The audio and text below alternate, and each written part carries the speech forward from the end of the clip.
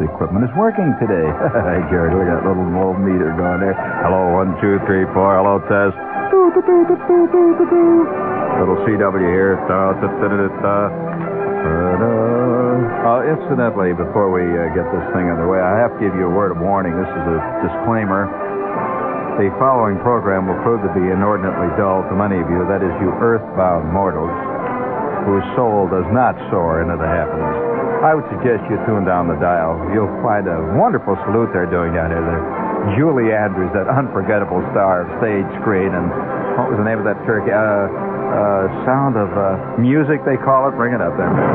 Oh, right, George. yes, indeed. Uh, yeah, by the way, may I may I uh, say that uh, I'm getting more and more uh, cuckoo about flying, and as a you know as a pilot, I, you have your days. You know, you, some days you get a little more hip on things than you do on other days. But uh, uh, one of the most unusual flights I ever had in my life was on a Qantas plane that was going from Darwin uh, to Sydney. Now, take uh, if you have a map out, just take a take a look at the Australian. Well, I guess it's a continent it's a big, um, you know, there's always been a lot of argument as whether they should consider it a, the biggest island in the world or one of the smallest continents, but it's a big piece of land.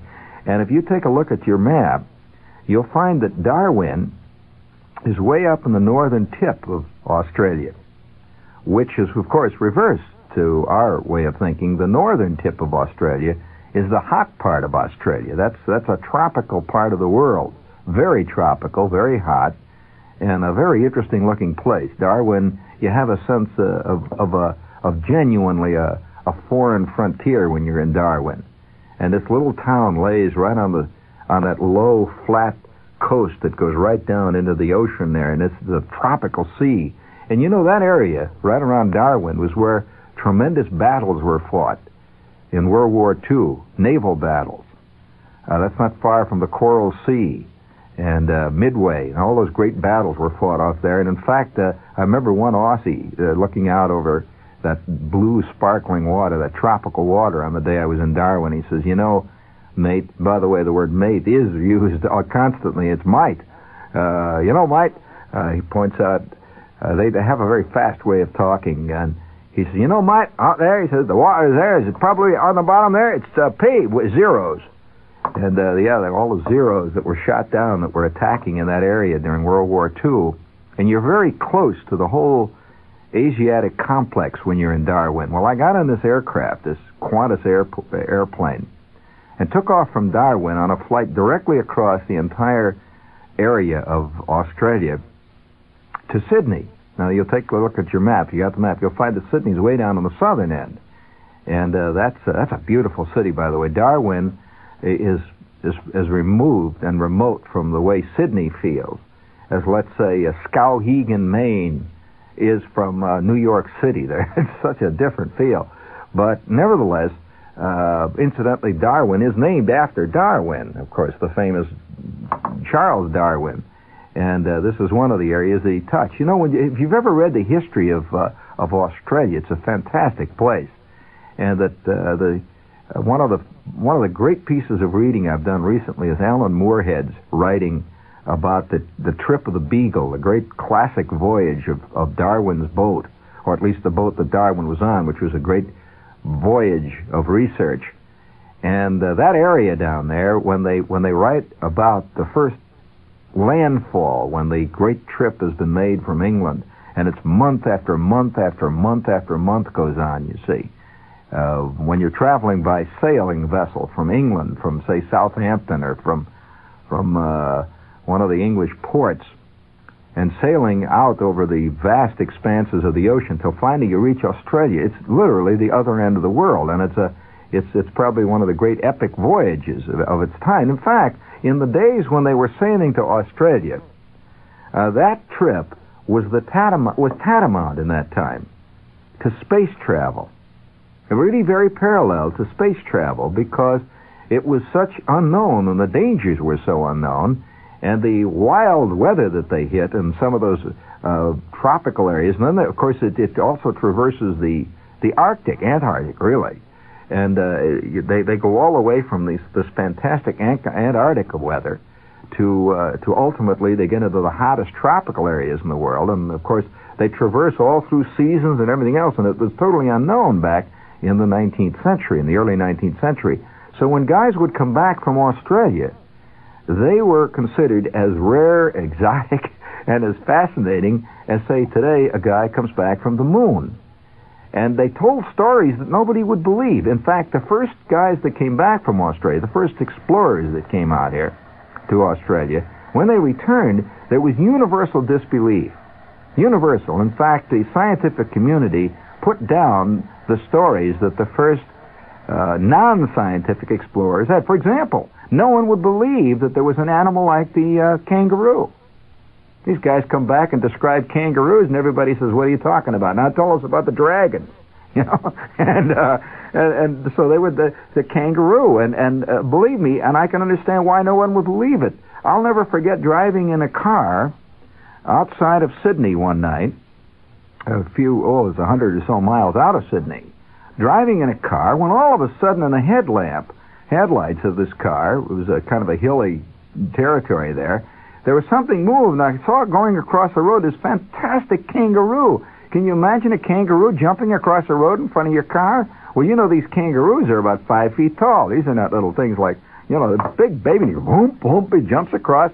His eyeballs glowing in the dark, you know, and his arms floating all over the place, and he's got a giant tail, and he sails off into the bushes. Said, my God, look out, you know. I thought to myself, man, this Australian beer must be something, you know. I, I can't conceivably believe that such a thing is there.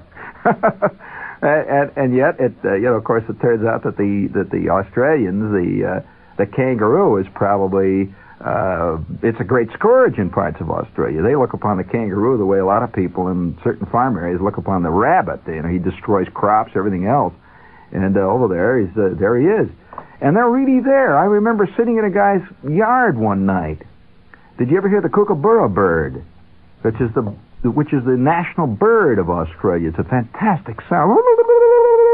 He yells out, and it's a wild sound. And by the way, speaking of the kookaburra bird, I'm not sure that I'm pronouncing it correctly. There's a lot of ways to pronounce these things, but this bird used to be, I remember when I was a kid and I was a shortwave listener, I first fell fantastically in love with Australia because the Australian shortwave stations, VK2ME and VK3, uh, I don't recall the other call sign. I'm trying to think of what VK2ME was Melbourne, of course. It stood for Melbourne, and their prefix is VK, just like our prefix here in the United States is W. All U.S. stations are either W or K. And uh, anybody in the world who hears a W, he knows it's a it's a U.S. station. This is an international code. Uh, and if you hear a K, it's also a U.S. station. Incidentally, if it's a U.S. possession, it's often uh, preceded with a uh, with a well, actually, it's a dual uh, call sign, like say KL, uh, which is Alaska, I believe now, KL or uh, KU or KG, which is Guam, uh, various different KH. So anywhere that you hear a K, you know that's a U.S. station. Well, Australia was VK, and I remember VK2ME used to identify itself. I don't know whether they still do or not across the world. You'd sit there and you tune in their their frequency, and you, it's a tough thing to do, you know, if you're if you're living in the Midwest to tune in Australia on a homemade uh, shortwave set. And uh, at two o'clock in the morning, I would finally I would finally hear it. They had as their signature. They didn't use uh, a regular uh, spoken signature like we do here in this country. They used the sound of the kookaburra bird. And all you would hear, there'd be silence. They wouldn't even be broadcasting a program. And they would just mark their frequency. You'd just hear, and it would echo throughout the world. And anybody who heard this knew they were listening to Australia. And he used to come floating in over 12,500 miles of space. And it had a curious, eerie quality to it. And at that point, it ought to be, you know, Australia. And every, you know, I'm amazed at the number of Americans. Not amazed. It doesn't surprise me, really, I suppose. The number of people who have a great interest in Australia. You mention Australia, a lot of people are turned down immediately. And for good reason. I, I, I uh, it's one of the most exciting countries I've ever visited. I recommend. I mean, if any of you have never done it, you ought to try it once, and you'll never you'll never turn back. One of the greatest expenditures you can ever make in your life is travel.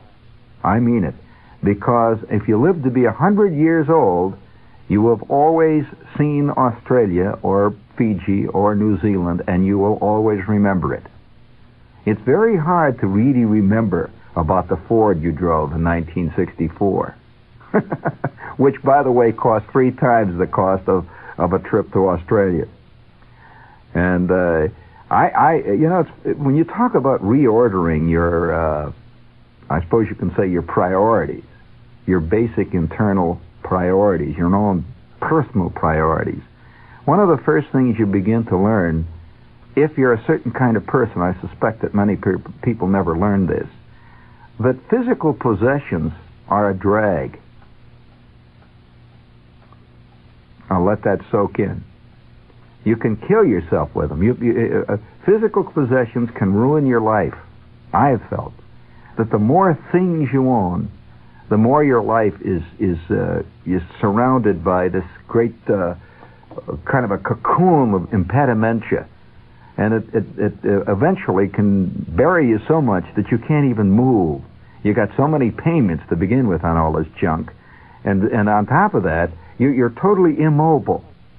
And so when you when you surround yourself with thousands and thousands of things, the idea of moving a, a block, or if you're going to move a, a, to the next town, is a major operation, and you don't do it. In many cases, you should. And I I uh, I don't know. Uh, I I I'm I suppose it's existentialism or something. I, I I hate to use any isms in connection with this. But from the time I began to travel seriously, which was about 1957, I, I went around the world in 1957. From that time on, uh, I've never I've never lost it, and uh, it's in fact, if anything, grown more. I look forward to each succeeding moment of a trip. This is WOR New York. How do you do, Mr. Sponsor? How do you do? For a commercial for you. We'd be glad to put it in if you'll get up a tin. How do you do, Mr. Sponsor? How do you do? Your AMC dealer announces Test Drive Days. Test Drive Days make it easy for you to meet the 1974 Matador. Meet the Matador Coupe the new mid-size car that's as exciting as its name. The 1974 Matador Coupe looks exciting, clean, uncluttered, contemporary. But we know you don't buy a car on looks alone. That's why we invite you to test drive this exciting new Matador during your AMC dealer's test drive days. Because a test drive is the only way to get to know a car. And we want you to get to know the 1974 Matador. Your AMC dealer where you get a good deal and a good deal more.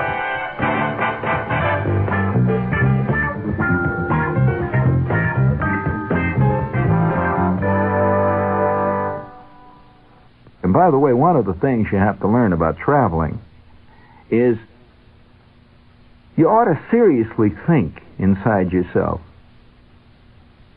what would you really like to see?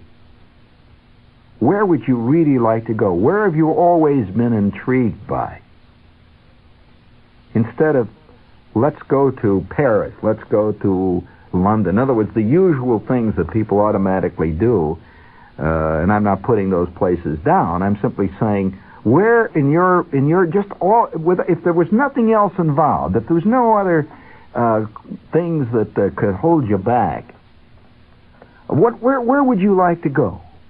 With no other consideration. Forget money. I mean, you try to throw everything else out of your mind and simply say, what place in the world would you like to see?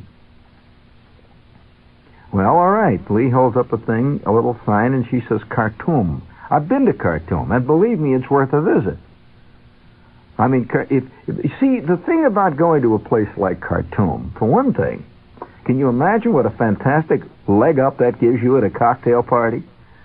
Why is it a status thing? Well, I'll tell you why it's a status thing. Damn few people have been to Khartoum, that's why. Seriously. and don't think it isn't worth a visit. However, uh, I from from the time I was a kid, now I can't explain why, I've always wanted to see Australia. Now, uh, I can tell you a lot of things about Australia. Anybody who's ever been there has been turned on by it in a curious sort of way. Very different from, from other types of excitement.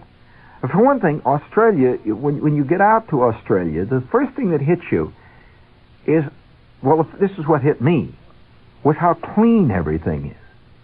There's a tremendous sense of, of, of, of sky, fantastic skies, enormous uh, distances and the people are just naturally appealing. I, I, I happen to like Australians very much. Uh, you know, for one thing, Australians are very uh, are very active people. These are not these are not people, and I'm not saying they're not intellectual because there is a great intellectual life in a lot of a lot of areas of Australia, but they're people who are doers. I, I always enjoyed being around doers. There's a sense of life about them. These are people who who uh, experience life rather than write about it or talk about it. It's a big difference. And uh, when you're out in Australia, you, you get the sense of tremendous, uh, anything's possible, you feel. And it generally is, actually. And uh, one of the great uh, movies, I think, uh, every time it shows up on television that I always watch, really, you should, you should watch it if you get a chance to watch it. It's a tremendous performance. I think one of the un uh, actors of our time who uh, never fails to be good and, and he's never been uh, dull in anything I've ever seen him is Robert Mitchum. Uh, if you get a chance to see Mitchum in The Sundowners, tremendous movie. And it's about Australia. It's about the outback. Now, I have flown over the outback and uh, I've experienced a little of the edge of it. And that's what I was going to say, that I took this trip, uh, this flight from Darwin which cuts directly across the uh, the continent of Australia. It cuts it at a diagonal right down to Sydney, and it's a long flight. And we flew at a at a very high altitude, and maybe 38, 39,000 feet, and the air was as clear as crystal. And I can't remember in my life, outside of possibly one flight, one night, under certain conditions over the Sahara, anything that impressed me as much as that flight over the Australian outback. It, it is very close to what you've seen in pictures of the moon. It resembles the moon very closely. And in a lot of ways, uh, the terrain is, uh, is geologically even similar, I've, I've heard. And so you see these, these fantastic, great dipping craters and dried riverbeds of prehistoric rivers and it is prehistoric. You, you travel over places where no man, to their knowledge, has ever put a foot. You travel over places where the surface temperature rarely falls during the day below 130 degrees all the time. No trails, no tracks, nothing. True wilderness. And you can see for miles and miles as you just look out over fantastic expanses. And at night, of course, like most uh, desert areas, the temperature plunges. So it's great differences in temperature. You know that I, I was in a in a house in the, in the part of the outback where the kids go to school there by radio. They're so widely separated that they have a two-way radio, a regular transmitter and receiver setup. This is not walkie-talkie. I'm talking about a big time, and it's not CB, friends. Forget that. This is a big transmitter in the guy's back. This is where he, the way he's connected with the outside world. And uh, he, uh, the kid every morning turns on the transmitter and the receiver and waits and the thing warms up and there's his teacher calling roll. And he answers by, he throws the switch, she calls his name, and he says, here, and then he throws the switch, and that's the it. See? And she asks some questions. They, they have a regular class that's separated by hundreds and hundreds of miles. You know, It's a very exciting place. And and these these uh, outback of ranches or farms, these these great establishments, they all have airstrips. And so daily the the postman comes whipping along in his Cessna, and uh, he lands, he delivers the mail, takes off, and he's off again. And it's a it's a fantastic place. Well, now I you know talking about stories of Australia, that one of the great flights that I've ever taken in my life was that flight from Darwin to Sydney, and it was a whole crowd of Australians aboard. It was a totally Australian flight. And it was not a tourist flight, it was a, it was a local flight. if you can call it local. It would be the equivalent of a local U.S. flight from, say, New York to Los Angeles. And uh, so here I was sitting with all these Australians, and by an odd coincidence, I got on a plane where there was a whole group of Australians who were coming to Sydney for the celebration of Anzac Day. Now, have you ever heard of Anzac Day? Well, Anzac Day is one of the great national holidays of Australia. In fact, it's probably the biggest national holiday of Australia. That is a specific Australian holiday. And Anzac Day has to do with World War One, and uh, it has to do with uh, with the Anzacs. Uh, Anzac, of course, you know what Anzac stands for. And uh, the Anzac soldiers who had uh, died at Gallipoli. It was a tremendous big battle there, and, and thousands and thousands of them died. And for, for, ever since that time, Anzac Day has been one of the great uh, memorial days of Australia. And of course, they're so remote that the, that the currents of of uh, things that travel through the world, uh, like traveling through our Western world here, that have not really reached Australia except in sort of a peripheral way. And uh, and so we're we're in the age of the put down. You know, everybody is putting his country down, no matter where you go. I mean, you go you go to uh, France, uh, the, you, all you got to do is holler out the window, and within five minutes you got four hundred thousand guys assembled, hollering, ah, yeah, cut out, cut out, you know, yelling, uh, blow it up, kill. Uh, you go to England, you get the the whole put down scene. Well, I haven't heard of that yet in Australia, and Australians love Australia. It's a very interesting thing to go to a place, a country where the people dig the country. You know, here they are. They're, they're, they're it's a, it's a very odd experience. Now we're, we're we're so used to the put down that we think that's the normal way of life, that this is the way it is, but it isn't so in Australia. And of course, there's in every country there's always a group of people who are raising Cain in one way or another. But in general, you get this sense of of uh, kind of well-being. It's a it's a curious sense of integration of the Australian with his environment.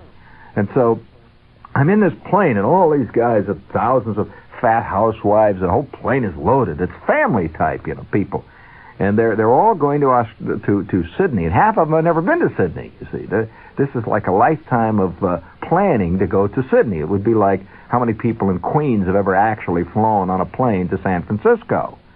It's a big event in their life. So I'm in the middle of all this. You see, I'm I'm a real alien, and they discovered I was an American. So we talked and argued for hours, uh, flying over this fantastic outback country and they all carry their lunches and stuff on board, which is something I've never seen on an airplane. But they, you know, they're all sitting, and of course, on top of that, they eat what the stewardess brings them, which is so. Oh yeah, these are stout Frenchman. So uh, we we finally got into uh, into the Sydney area, and boy, Sydney is something to see. Uh, Sydney reminds me very very much of San Francisco. The city is is very similar to San Francisco. They've got a huge bridge out across Sydney Bay there, and it's a beautiful beautiful city. Uh, but the the whole feeling in in uh, Australia was was different from the way I thought it would be, and it's and it, it's not. Uh, there's a, very difficult for me to describe it to you, and I'm not again attempting to sell you on Australia like every other country. Now let's face one thing, friends, in our lives, we're going to have to face one thing. There's no such thing as paradise, and uh, wherever you go, you will find flaws in the particular social structure of wherever you go. It depends on which flaw bugs you most. Uh, and, and, and that's, that's a personal thing. You will find many people will find Australia intolerable because they don't find the rich, deep uh, coffee shop sitting around intellectual life that you may find, say, in New York or you may find in Paris. On the other hand, there are vast areas of attitude and feeling that you will find in Australia that you won't find in places like New York and, uh, well, Paris. Incidentally, I think Sydney has to be included in one of the world's great cities. Uh, when you talk about great cities, what are the great cities? Well, Tokyo, uh, Los Angeles has to be considered. Chicago, uh, New York, Paris, Rome, Amsterdam, London. These are great cities, big league cities. You see, these are these are cities that uh, that are countries unto themselves. And uh, uh, you know, one of the one of the odd things about Australia, I, I took a I took a plane from Sydney one morning. One of the one of the fantastic experiences of my life. Of if I'm using the word fantastic a great deal, it's because Australia is that. It is almost a fantasy to you, to us, to a person like uh, you know, walking around America. First of all, we're used to things that are difficult to do. In a country like ours, which is a vastly populated country, things get difficult, right? It's hard to do things. It's uh, it takes planning, and and uh, there's turnpikes, and there's traffic jams, and lines and stuff.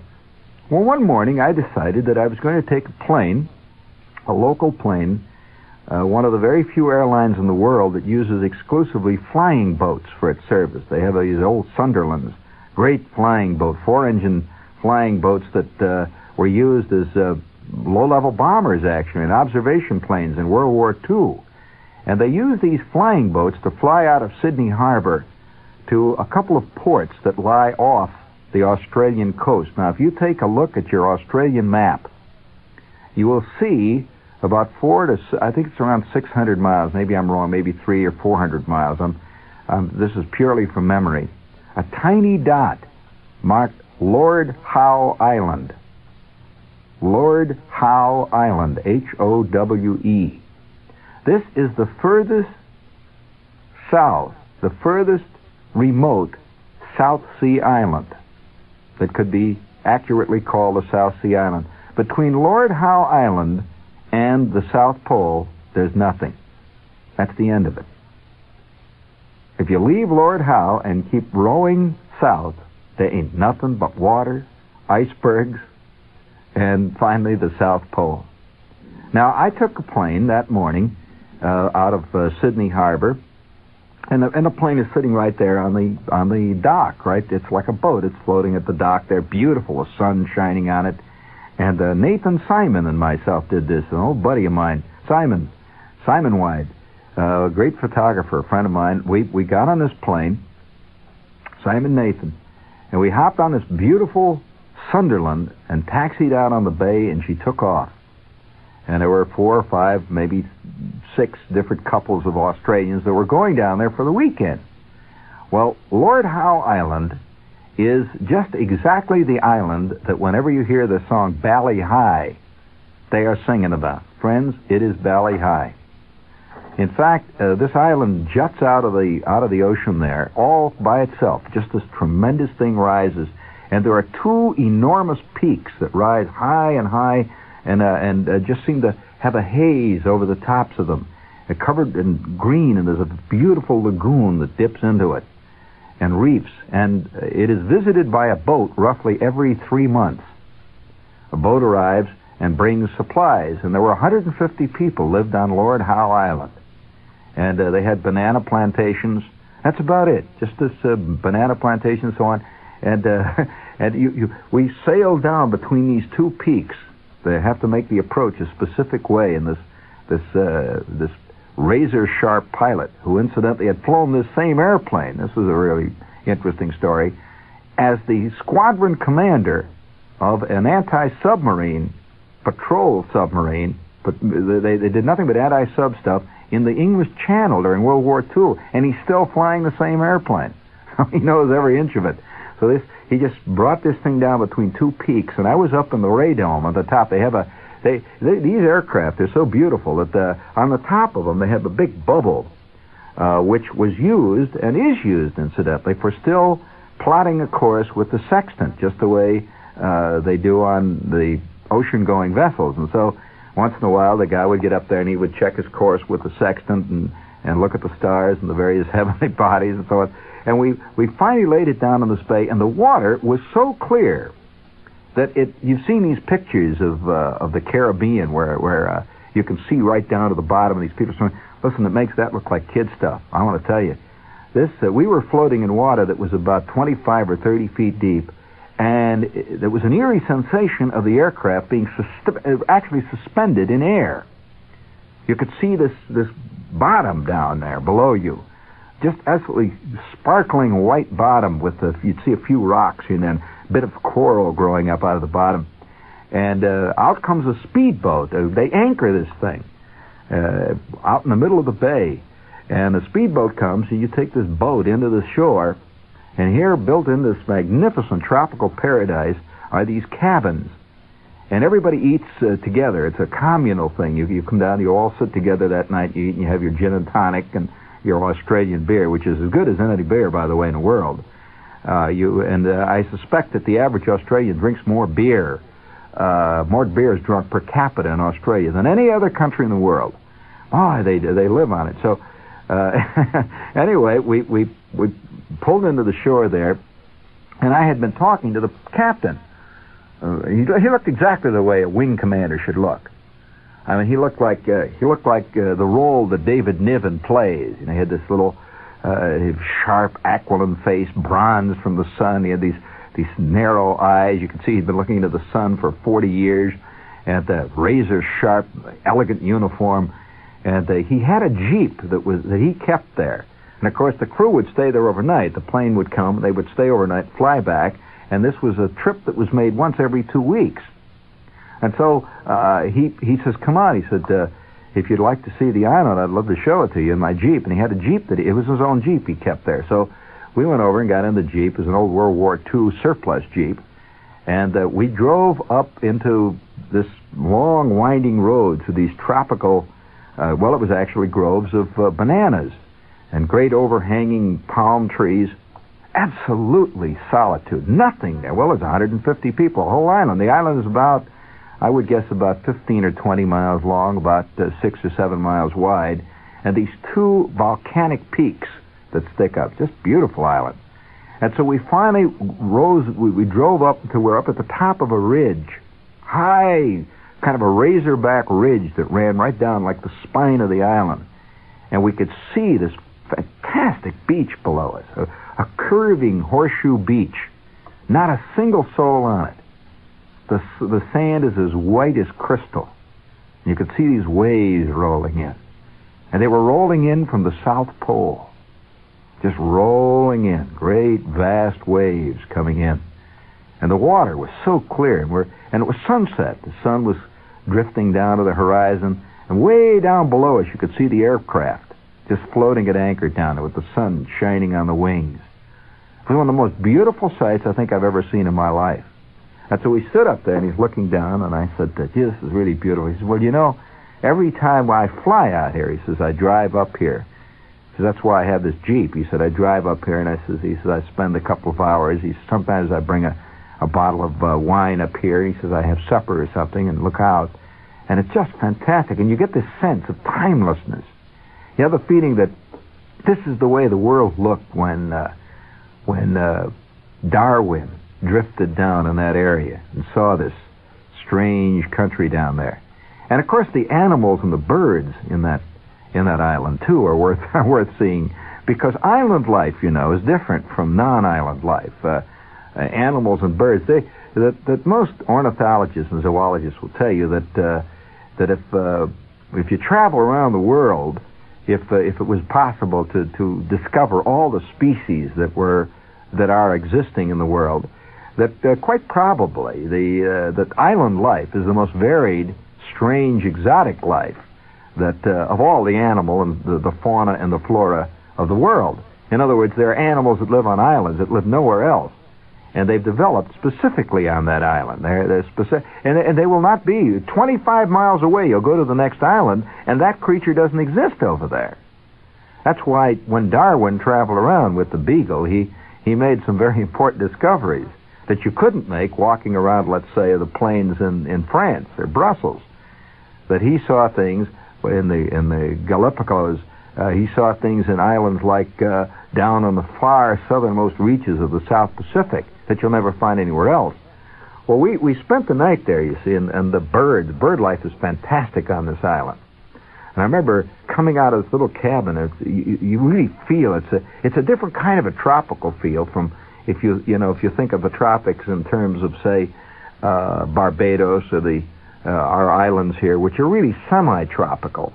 Uh, this is a different kind of a tropical feeling than you'll find any place else that I've found anywhere else in the world because there is a is a softness in the air. It's a it's a it's a genuine tropical paradise. There's a, a languor, and uh, everything feels soft and and remote. You have the sense that uh, that the rest of the world just doesn't exist. I can understand why Gauguin went out of his mind in Tahiti in the early days of the of the life on Tahiti, which of course has changed drastically. And if you ever get a chance, uh, and this is, a, again, a, a word of personal advice, if you ever get a chance to travel out in the Pacific area, there are several things you can't miss. Uh, one of them is New Zealand. I, I, uh, I suspect that there's less said in the world about New Zealand. Uh, you, you don't hear many people talk about it, and yet uh, I would I would I would venture to say that quite probably, if if you were if there was any form of absolute beauty, if there was any standard of absolute beauty, uh, you'd have to you'd have to concede that New Zealand has to be one of the three or four most beautiful places on the face of the earth. Fantastic country physically, tremendous country. And uh, the, the thing that hit me about New Zealand, the very first thing, was the was the fact that you had a sense of New Zealand is roughly where the Bonnie and Clyde movie was. Uh, they're, they're roughly in the early 30s.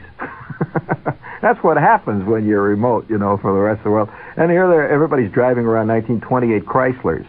Uh, every place you look, you see uh, uh, Willys Overlands, and they're the regular cars. They're not uh, they're not collector's items. A guy will go putting past you in a Graham-Paige.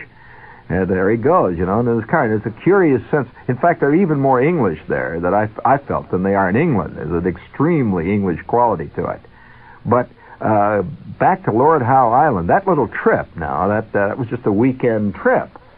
And so that's the kind of thing you can do in Australia. In fact, I, I remember coming into the hotel lobby. It's kind of a little shock, you know, to see uh, a hotel lobby. There's a sign there, and it said, uh, "Why not make it a Fiji weekend?" Well, you know, you're, you're really suddenly hit how far away you are from home, where the people think in terms of taking a long weekend, they go to Fiji. I mean, they think of uh, when I'm going to take a long weekend, why not go to, uh, you know, Guadalcanal? And they do. Uh, and, and it, it kind of hit me that minute, saying, sure, you could buy, and it's very inexpensive. You buy a, t- you know, you buy a ticket, and uh, just like today, if uh, here you are in New York City, somebody says, why not try an Atlantic City weekend? And the natives think nothing of it, of course. And uh, speaking of natives, uh, I, I had a strange experience. You know, there's all kinds of American immigrants over there, and uh, they're they're uh, they're an odd lot uh, in in many ways. And uh, one day I took a plane. This was a private plane, and flew out of Sydney to a place called Coffs Harbour, which is up the coast, and it's in a very tropical area. In that area, they uh, you see these old gentlemen. Uh, uh, bowling uh, on the green. You know, they uh, right in the middle of every Australian city. It's everything is so sedate. You get a sense of total peace there. Nothing is hurried.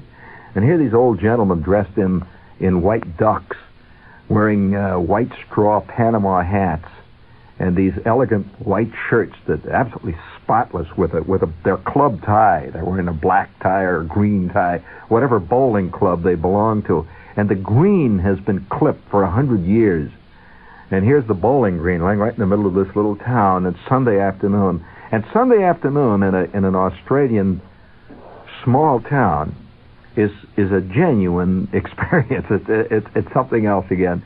And these old gentlemen, in fact, it's so quiet in this town that you could be two miles away and you can hear the click of bowling balls hitting together on the green. Uh, you just you hear, you hear these little you hear old ladies twittering at the the birds and the quiet tropical air. And I, I got out of the plane, which was which, in case you're curious, if you're a flying type, the plane happened to be a a uh, 172 uh, Cessna, Skylane. We crawled out of the plane, and and uh, I walked over to the to the uh, to the terminal there, the airport terminal. And here was one guy sitting in his cab, and uh, I climbed in the back, and he says, "Where to, mate?" And I said, listen, I said, I'd, how would you like to spend about an hour with me? He said, you're on. And uh, I said, well, just let's just drive around. He said, fine. So we drove all around, and he said uh, he wanted to show me his, you know, the place. And so he took me out to a banana plantation. And uh, I, I struggled my way through the undergrowth in this banana plantation, and here some guy had built a stand. It was like a house made in the shape of a banana a tremendous banana. And, uh, you know, they hand you bananas. If bananas are, you know, for the equivalent of a nickel, you can get 25 pounds of bananas. You know, there's no problem at all. So, so uh, I went into the guy's house, and he's an American there.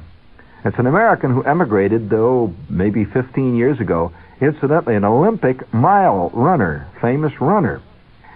And uh, I, I walked up on the on the porch of his pad there, and instantly I'm hit. I had this sense of, of, of being in, definitely, I was in a, a true life portrayal of a Somerset Maugham short story.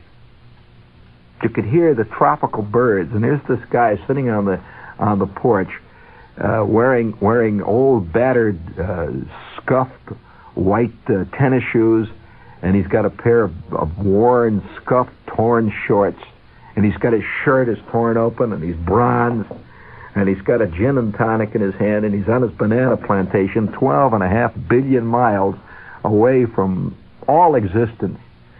And out from in back of his house comes this beautiful, beautiful Polynesian girl who brought us drinks on a tray, a bamboo tray. And we're sitting there drinking banana squash with a little a little dash of vodka in it. That's what he was drinking. See, with a little with a little soda water. It's a strange combination. We're sitting on his on his porch, and you could hear the wind blowing, just a slight, soft tropical breeze blowing through the banana trees. Now, banana trees have got the. You've seen pictures of banana. Have you ever seen a banana tree? Well, you know they've got these great sweeping leaves, kind of hang over, and whenever the wind blows through them, you hear this. It's a, it's a sound of the banana trees, the wind blowing through them. And so we went through his banana groves. He was showing me these. He's very laconic character. And uh, he'd heard, he'd read my stuff in Playboy, by the way, which is kind of an odd feeling. He gets Playboy out there. So we talked a little bit about that. Uh, finally, he says, "Well," he said, uh, "good flight." I got back in a cab and we drove out to the airport. The next minute, I'm airborne. And now he's probably there. He is. He's out there. Of course, right now he's. Uh, it's at this time. It's just exactly the opposite. It's uh, it's a different time of day over there. It's a different uh, season of the year over there. Probably doesn't even remember that I came there.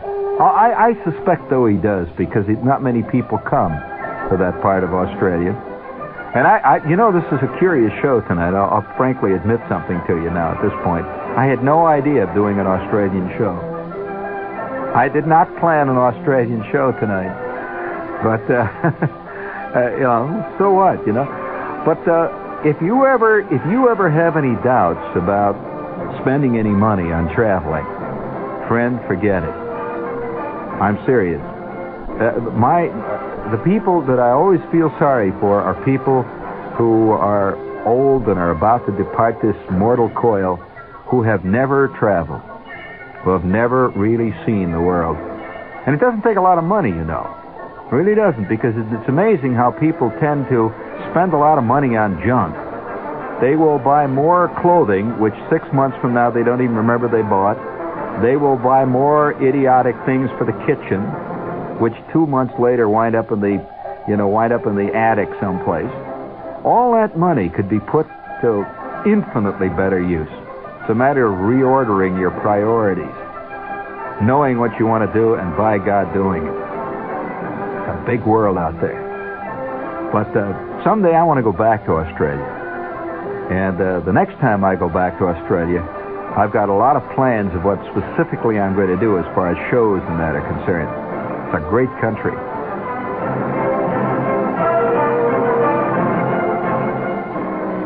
This is WOR New York.